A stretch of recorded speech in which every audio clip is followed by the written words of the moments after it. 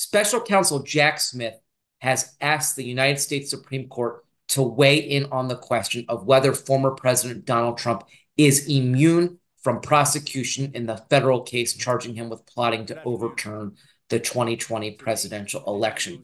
This is a legally untested question. There's nothing in the Constitution or the case law that talks about whether a former president can be charged. And so the special counsel's office wants an expedited, rapid determination from the Supreme Court, the highest court in the land, to determine once and for all that, in fact, a former president is not exempt from prosecution and that there are situations in which a former commander in chief can, in fact, be indicted and can, in fact, um, be put on trial. All the parties here are operating on a ticking clock. The trial is scheduled to start next March, but of course, the presidential election is also scheduled for the fall of 2024.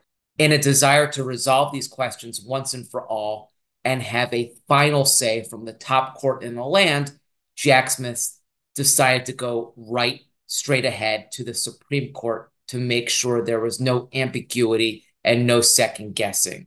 And that's not normally the way the process would work. Normally, you would ask the DC appeals court, the circuit court here, um, for that. And uh, so now we're at, he's asking the Supreme Court instead. It would be unusual. And in fact, there's really not much time for the Supreme Court to add a new case to the docket and to decide it under the time frame that Jack Smith wants. So this is really unclear exactly what's going to happen. But in order to hedge his bet, Jack Smith is also simultaneously asking for the appeals court to expedite um, taking up this issue too, uh, in the event the Supreme Court does not